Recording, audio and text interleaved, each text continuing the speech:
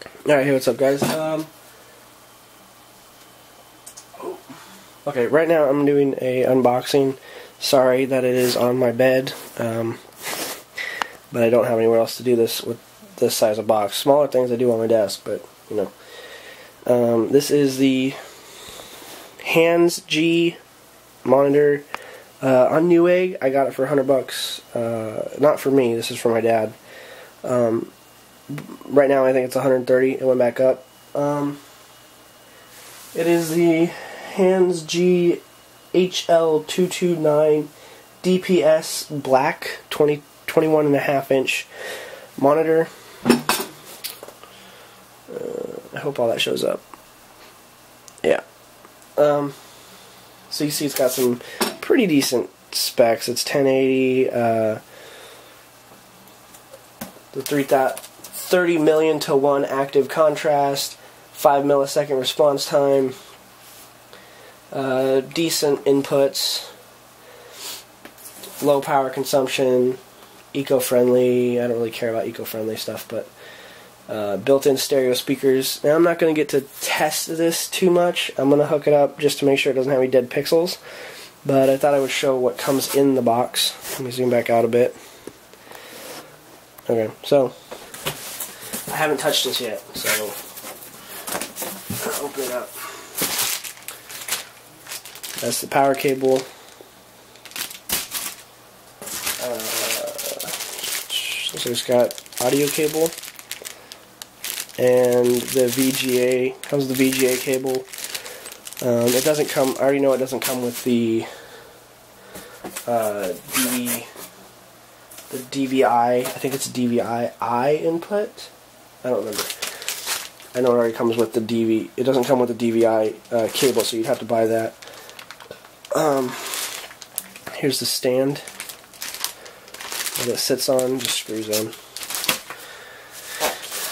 and then wow, that goes around the whole end. I Kind of like that. That's cool. Give me a second.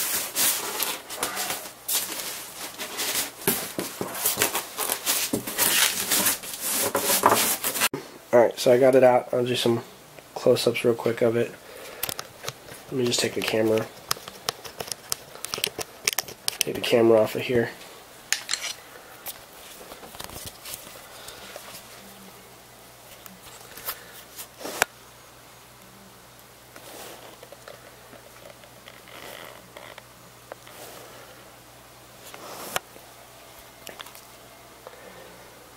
Very clean looking monitor. I do like that. It's not too heavy either, it's pretty light.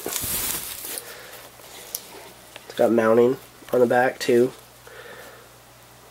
I think the speakers, I don't know if that's for venting, I know the top's for venting.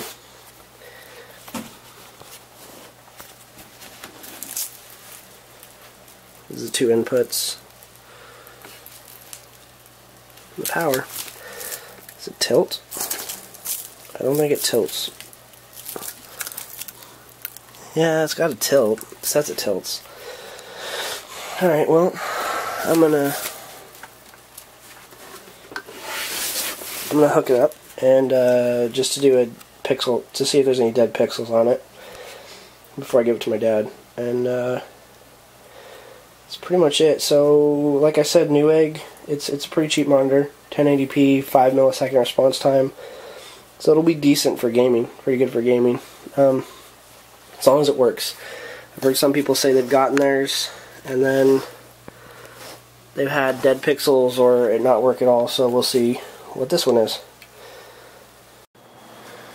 Alright guys, so I screwed up the ending somehow. I don't know, this camera's kind of finicky or something, or I'm just not used to it yet. Uh, this is not the monitor, um, this is my TV.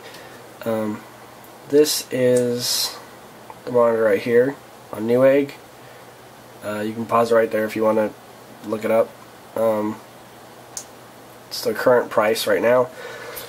I got into my video editor and I realized that the last clip that I recorded uh, where I actually showed the screen and a couple dead pixels that were on it um, for some reason didn't get recorded at all. So I'm just going to do this. Uh, there were a couple dead pixels. Um, they were very unnoticeable on a 1080p screen. Uh, for a $100 or $130 TV uh, monitor, sorry, uh, I wouldn't complain. It's a very, it looked very good.